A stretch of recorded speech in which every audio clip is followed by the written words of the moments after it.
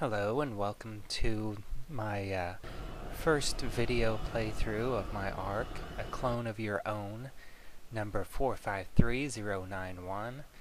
This is the contact, Dr. Mephit, and he is uh, sending you to go after a bunch of freak show who has taken his research. He worked with them for a little bit and uh, he's not exactly telling you what it is, but just by the title of the arc, I'm sure you can tell that there's going to be some clones. And I originally made this arc as one of the first uh, during Going Rogue beta to test the doppelgangers in the MA. This is the first clone that you fight. It's in all black I've rewritten this arc uh, a few times since publishing it. Hopefully it's uh, a lot funnier.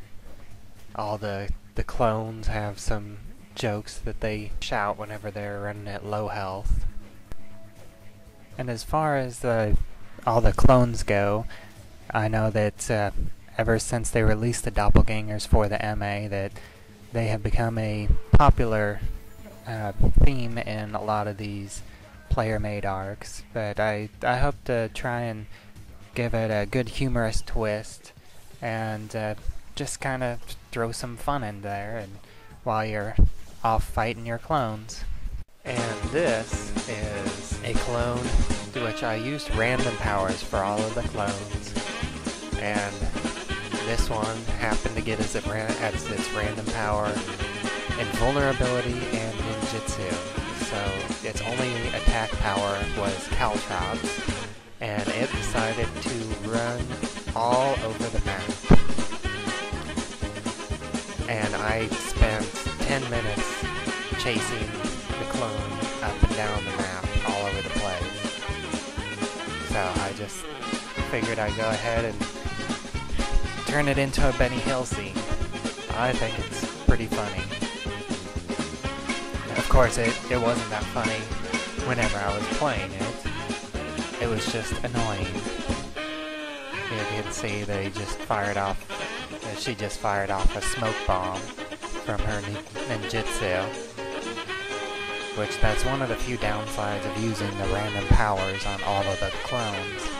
Occasionally you'll get just completely ridiculous combinations that don't make any sense but the upside of it, which is why I used it, is because the uh, random power clones means that it's a different arc every time you play.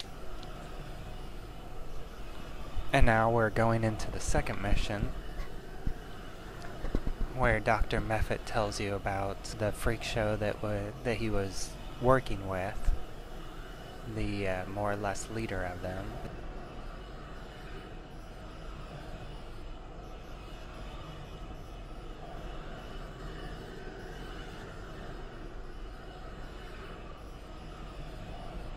Those freaks were supposed to be holding explosives, but I guess that didn't show up because of the, those particular freaks all had hammers for hands, so it didn't work with that model of freaks. And then whenever you save this defective clone, uh, she starts attacking you.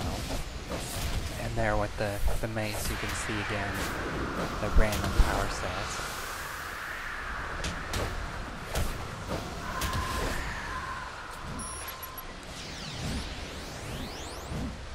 This one has the shield. And once again, this this looks like it is another clone that has two defensive power sets together, shield and invulnerability.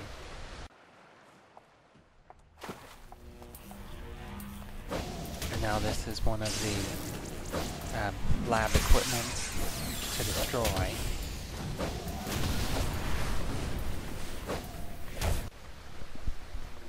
And this is a clone pod, which is another piece of equipment that, um, that you need to destroy. And then here, this is the one smart clone, which has a unique speech pattern, which I gave him.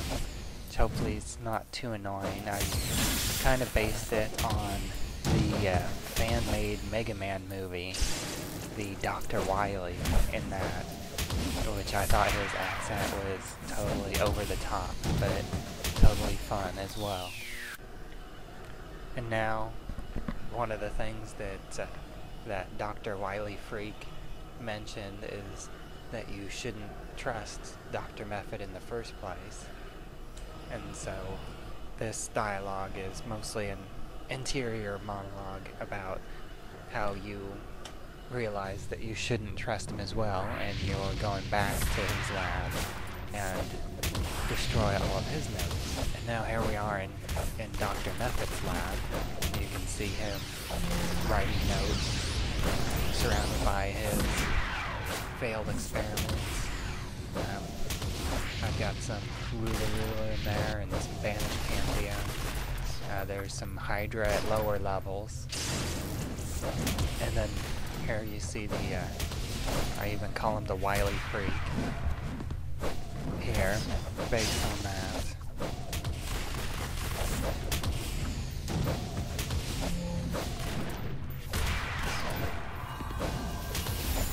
He was there to, to try and get back the nose, and there you see how he has a, a self-revive like many of the Freak Show do. And then this is where Dr. Mephit turns on you, which I've tried to do it several different ways, but with the way the betrayal works in the mission architect, I decided that this was the most useful way to do it.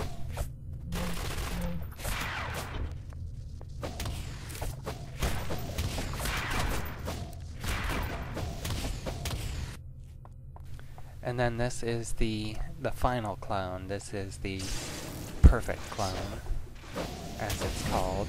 And you can see that it's an exact copy with the same power sets.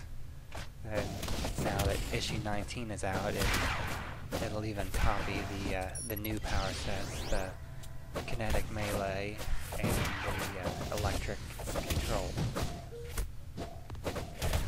There you have it.